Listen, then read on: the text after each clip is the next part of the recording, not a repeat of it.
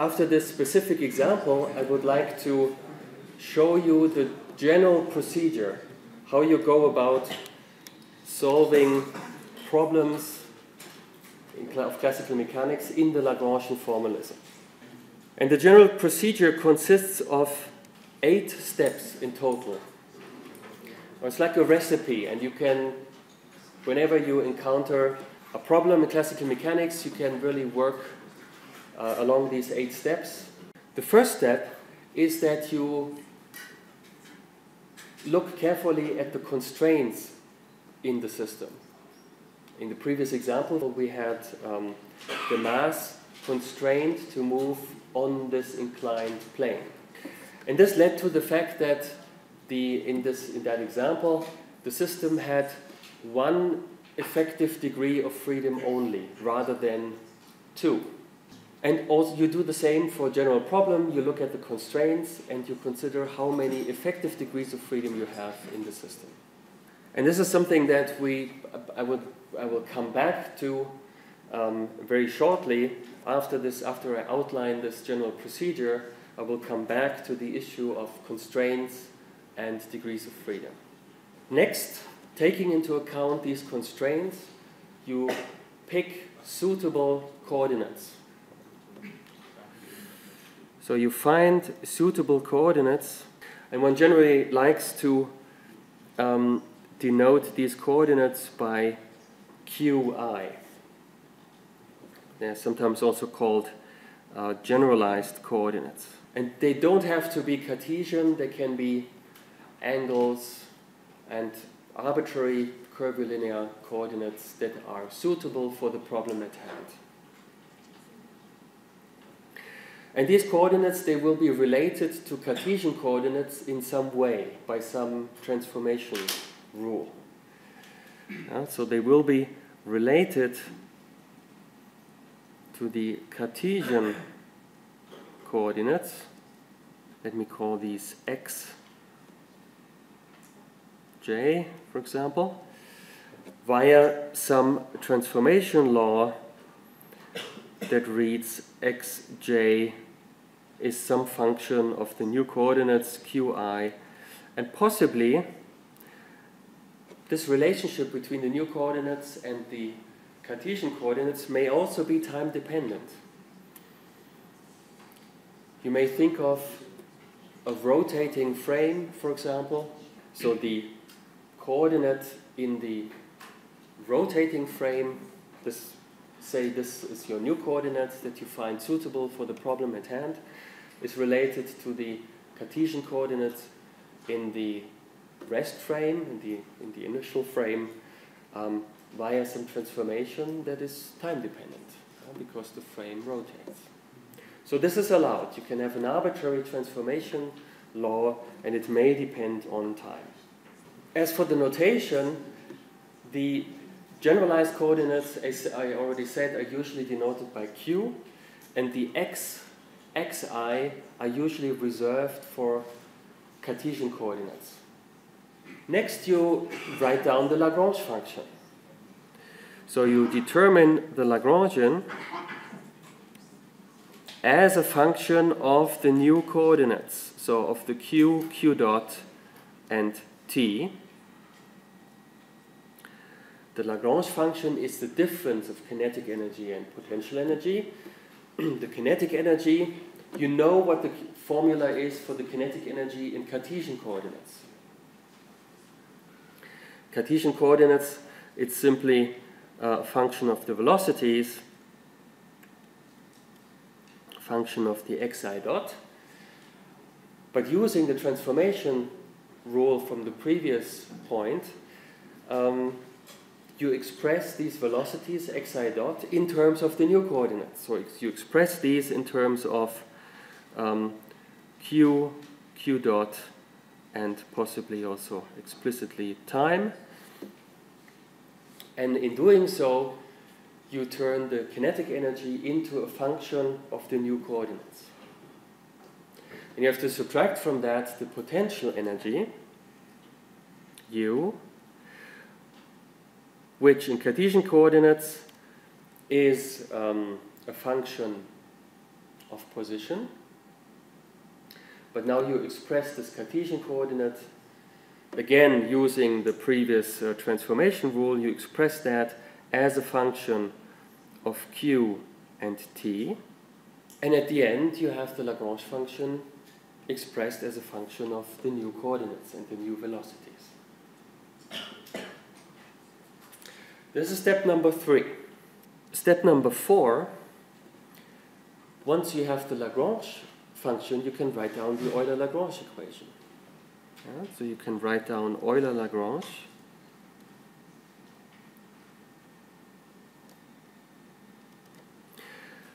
That says d over dt, then you have dl partial dqi dot minus dl partial dqi.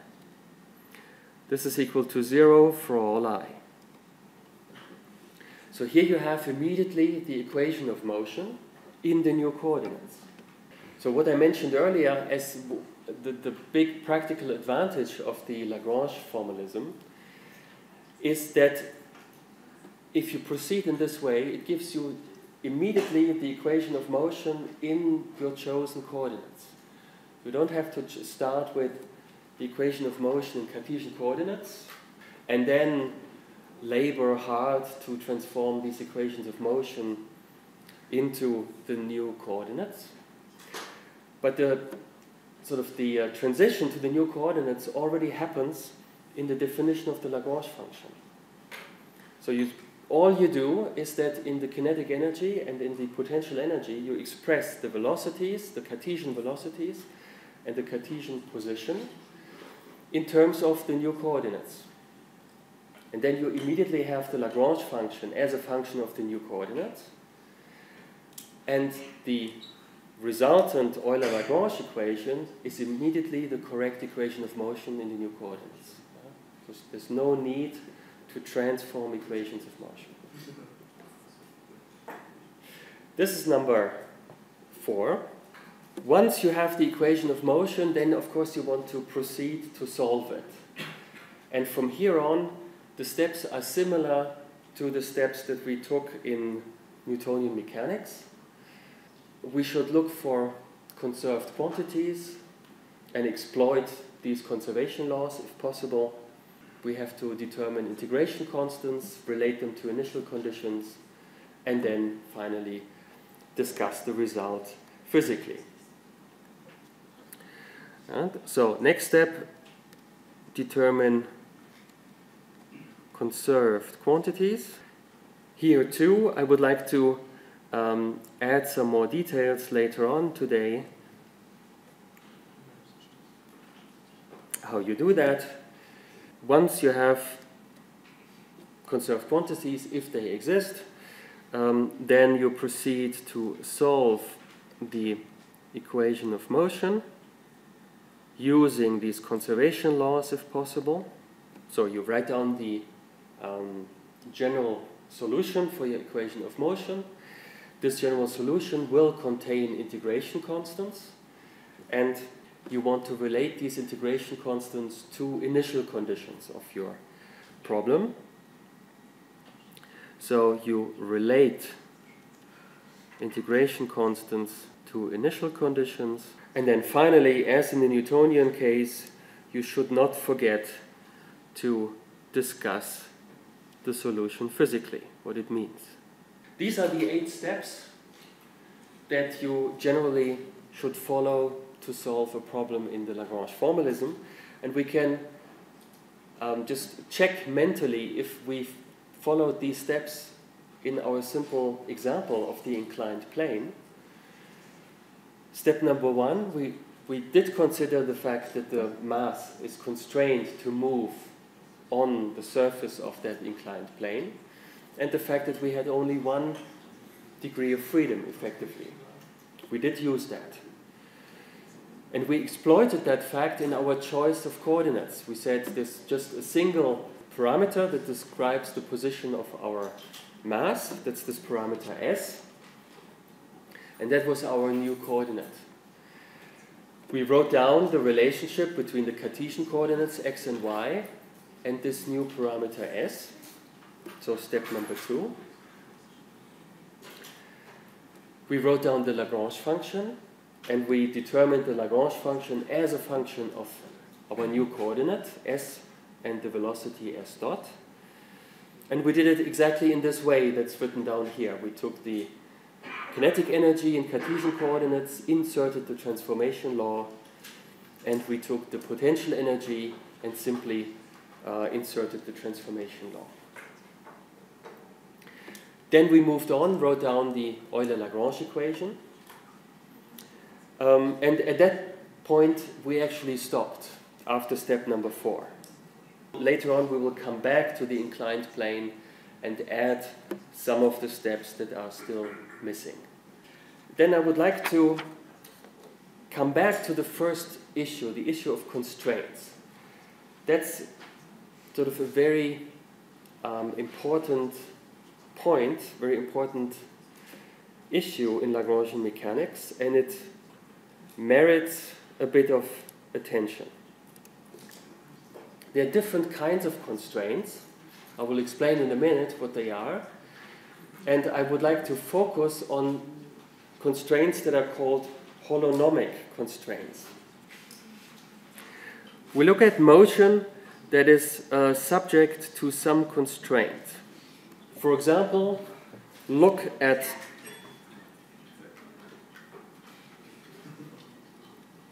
a motion in two dimensions, say on the surface of the Earth. There's an object moving, and the object is a locomotive, and the motion of that locomotive is constrained to railway tracks. So effectively, the motion of the locomotive is not two-dimensional, but it's only one-dimensional. This is very similar to the example we just had, the inclined plane. There too, the motion, even though it took place in two dimensions, was constrained effectively to a one-dimensional line. We can consider this in a more general fashion. We can consider motion that in principle could take place in a higher dimensional space, can be two-dimensional, three-dimensional, or if you have uh, many particles, then mathematically then each particle can move in a three-dimensional space. Uh, so to characterize the position of all, say, n particles, you need 3n coordinates. So you could say that this n particle system moves in a 3n dimensional space. And then constraints are such that effectively the motion of the system, however, is constrained to some submanifold of this high dimensional space. So, more generally, we consider motion um, that is constrained to some lower dimensional submanifold of the so-called configuration space. Now constraints of that type, where the motion is constrained to some submanifold, constra constraints of that type are called holonomic constraints.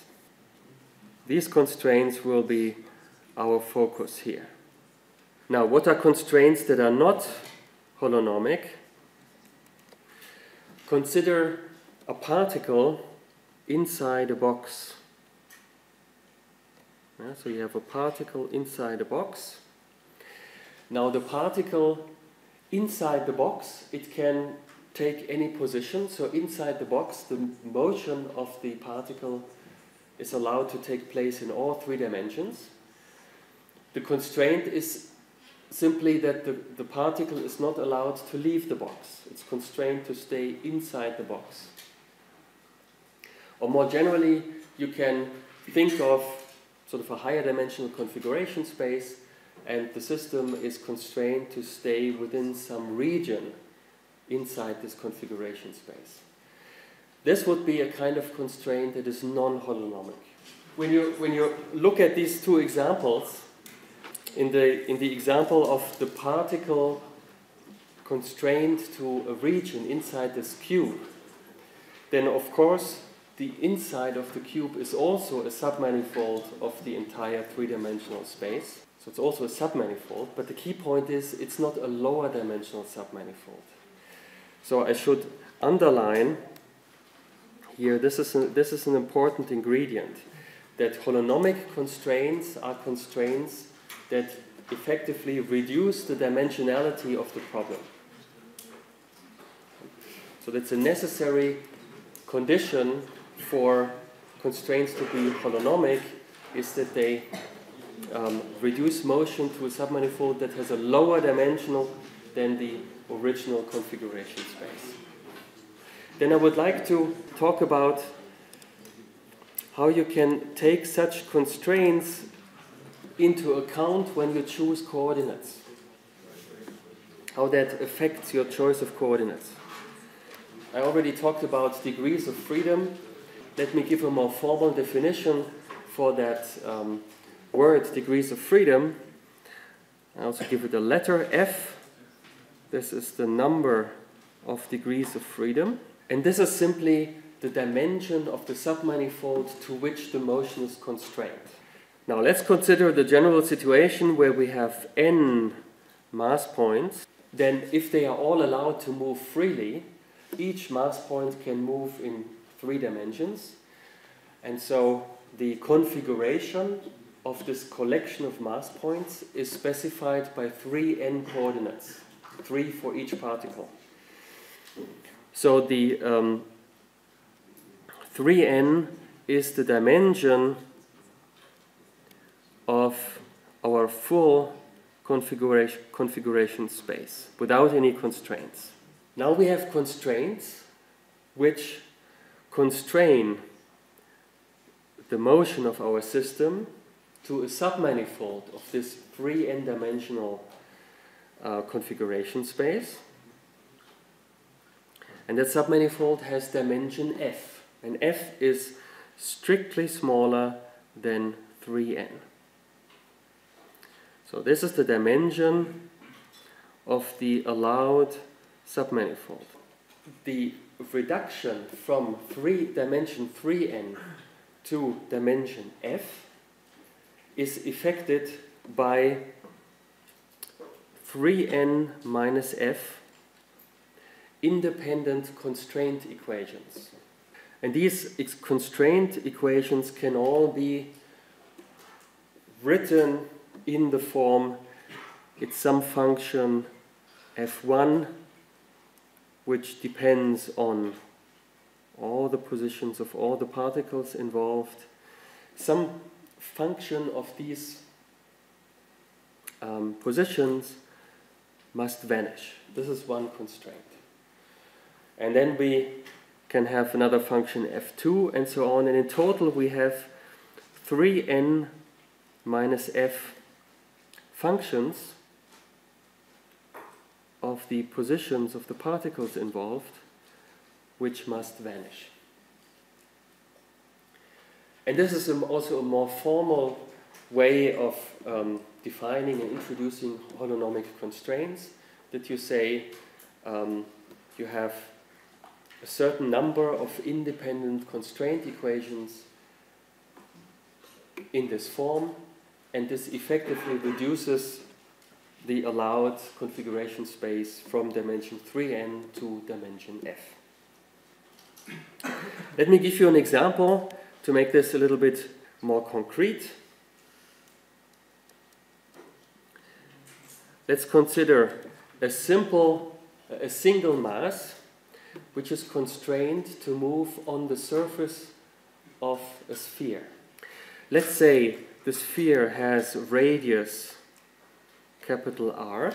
Can this constraint be expressed in the form that I noted above? That some function of the position vanishes. So you can say that um, if the position of the particle, say here's the origin, position vector of the particle is the vector little r. And then you can define a function f1 of the position vector.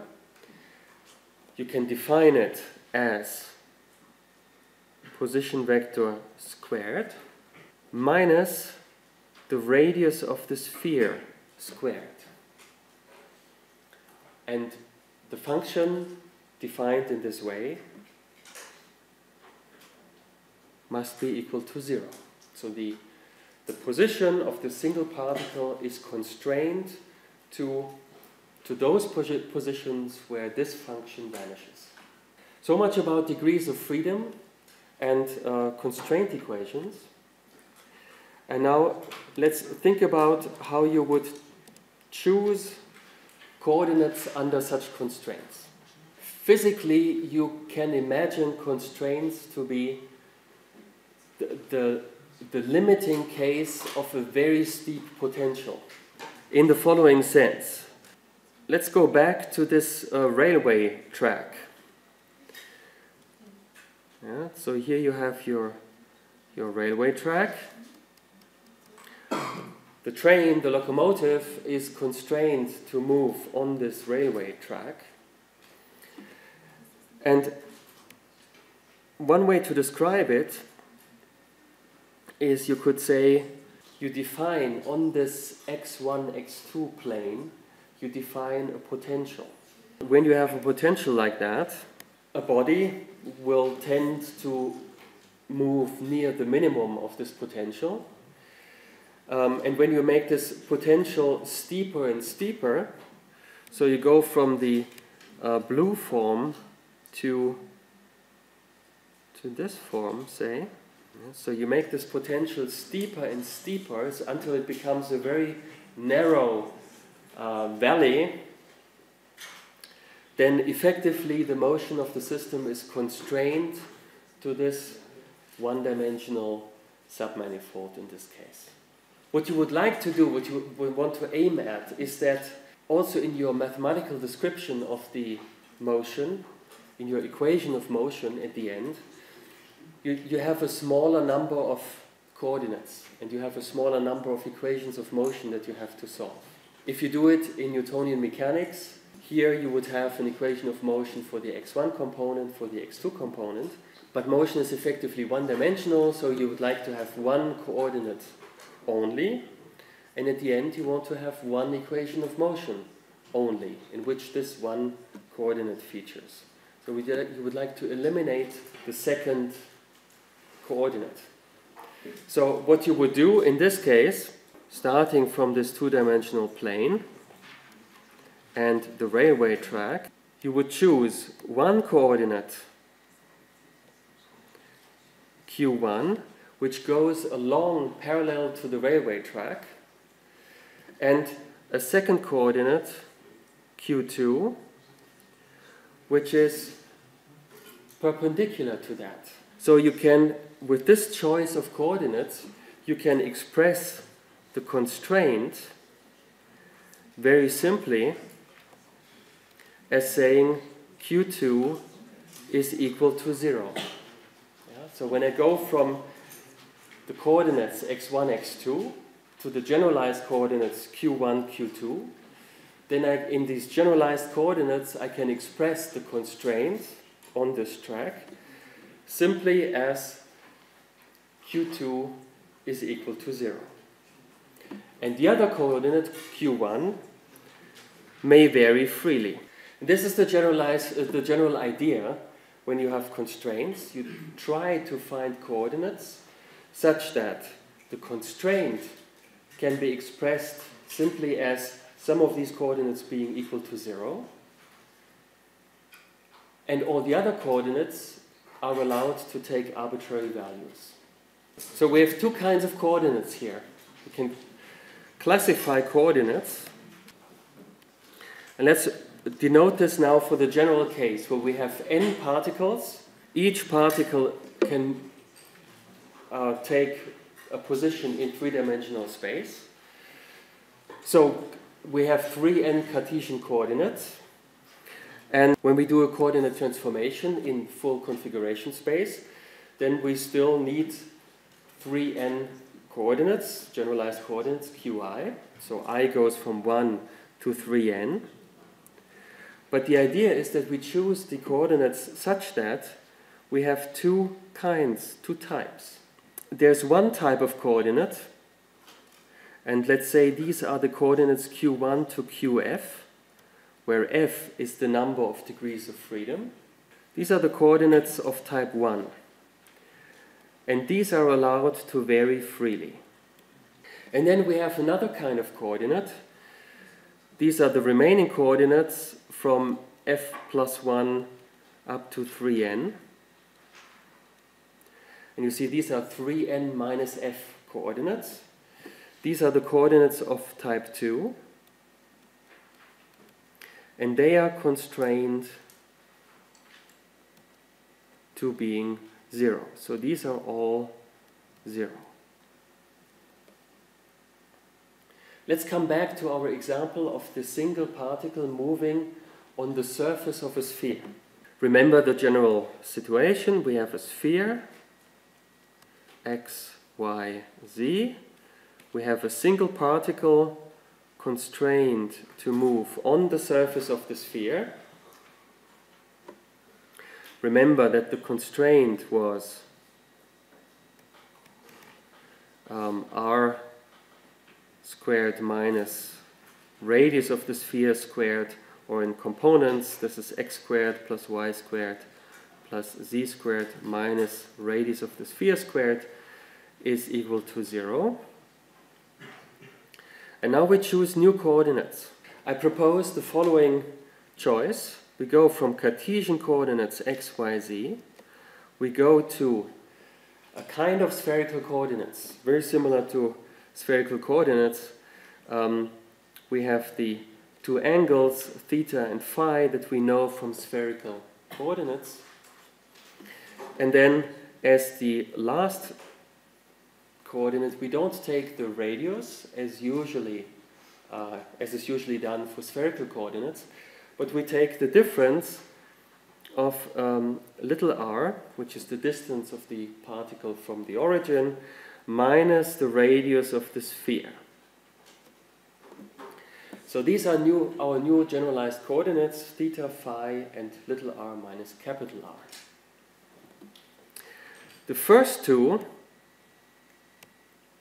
are allowed to vary freely. Uh, we, have, we can have arbitrary angles because we can have an arbitrary position on the surface of the sphere.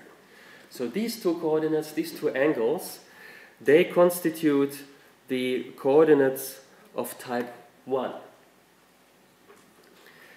The third coordinate, little r minus capital R, is constrained to be equal to 0 because yeah, the particle must be on the surface of the sphere. The distance from the origin must equal the radius of the sphere. So uh, this coordinate here uh, is constrained to be 0 and is therefore a coordinate of type 2. Now what we are aiming at is that the coordinates of type 2 we can eventually forget and we can describe the problem entirely with coordinates of type 1 and then in comparison to the Cartesian case we just have f of them rather than 3n of them and that's the simplification. We are not yet uh, quite there where we can simply say, oh, just forget about type 2 coordinates.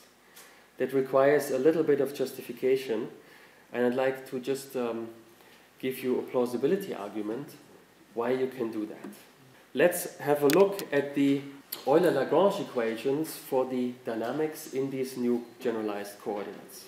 Well, we have Euler-Lagrange equations for all the new coordinates that we introduced. We have Euler-Lagrange equa equations both for the type 2 coordinates and for the type 1 coordinates. Let's start with the type 2 coordinates. And the Euler-Lagrange equations read uh, d over dt, and then we have the partial of the Lagrangian with respect to q dot, and now q is of type 2. minus partial dl dq of type 2 is equal to 0. Now here the, the idea comes into play that we can understand constraints as a limiting case of a very steep potential. In that limiting case, the solution of that Euler-Lagrange equation for the type 2 coordinates will be simply coordinate and velocity equal to 0. Okay. So in the limit of an infinitely steep potential, we will have a solution where the type 2 coordinate and also the velocity associated with the type 2 coordinate are equal to 0. And this is a form of conservation law. Now we can turn our attention to the Euler-Lagrange equation for the type 1 coordinates.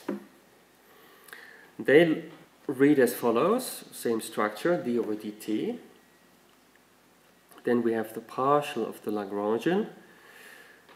And here I would like to make explicit the fact that the Lagrangian, at this point, still depends on all the coordinates and all the velocities, including type 2.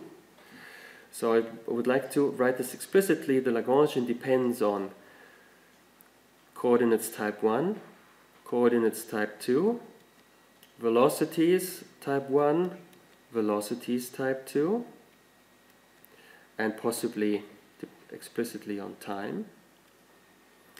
Now we have the partial with respect to q dot type 1 minus partial of L, and again, I make this explicit, and T, dq1 is equal to 0. At this point, of course, we can use the result from the previous equation of motion. So the fact that the coordinates and the velocities of type 2 are all equal to 0 and we can insert this here. And we can define a new, uh, a new Lagrange function, L star, a new Lagrange function which now depends only on the type 1 coordinates. We can define it in the following way. It's the original Lagrange function which depends on all the coordinates, but we set the type 2 coordinates equal to 0 and the type 2 velocities equal to 0. Yeah, so we, we introduce formally a new Lagrange function which depends on type 1 coordinates only. And then we get an, an equation of motion with this new Lagrange function.